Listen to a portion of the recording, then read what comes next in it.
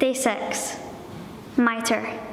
The mitre is a very distinctive headgear worn by a bishop during liturgies.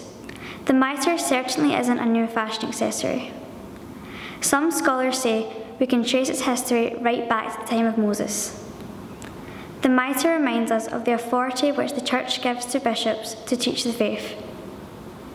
In our daily lives, do we really take on board what the Church teaches?